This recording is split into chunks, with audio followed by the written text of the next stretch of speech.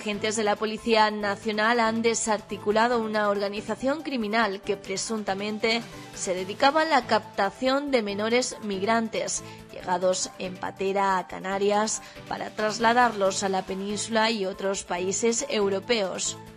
La organización se encargaba de gestionarles el viaje y la documentación falsa necesaria para poder volar por cantidades cercanas a los mil euros. En la operación se ha detenido a nueve personas, siete en la provincia de Alicante y dos en la región de Murcia, dos de las cuales han ingresado en prisión provisional.